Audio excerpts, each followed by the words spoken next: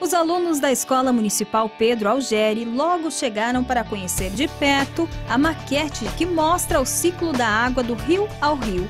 Um projeto que já percorreu mais de 100 cidades no estado do Paraná. Então, o projeto do Rio ao Rio é uma iniciativa da Sanepar, da Diretoria de Meio Ambiente, de levar a informação a respeito de todo o processo de saneamento, enfim, de tratamento de água e esgoto e resíduos sólidos que a Sanepar desempenha no Paraná, de uma maneira mais interativa, mais clara, né, mais gostosa dos alunos, principalmente, que é o nosso principal público, é, perceber, né, identificar então nessa maquete que acompanha esse ônibus, né, o Eco Expresso. A aproximação com a realidade impressiona. No ônibus especialmente preparado para atividades de educação ambiental com maquetes e também painéis, os visitantes acompanham o caminho que a água percorre das nascentes até chegar aos domicílios.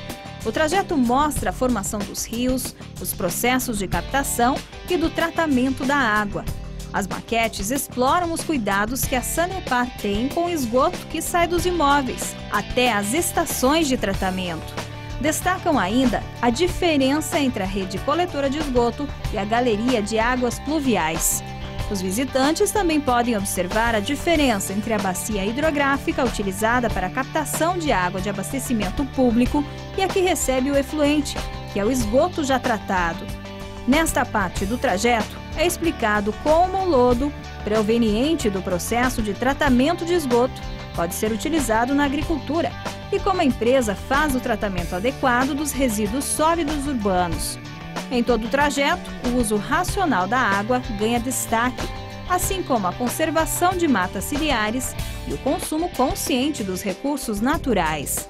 Por isso que a gente chama do rio ao rio, porque começa começa na captação da água bruta lá no rio, na fonte, no poço e vai terminar no rio de novo com o lançamento do efluente. Então todo esse processo ele deve ser feito de maneira responsável, né, sustentável, para a gente continuar é, usando esses recursos. Né? Após receberem as orientações, os alunos aprovaram a experiência.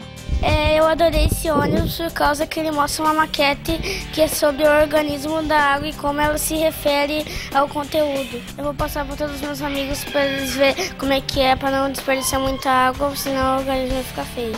Importante para nós, porque se faltar água, a gente vai ficar com sede, daí não vai ter.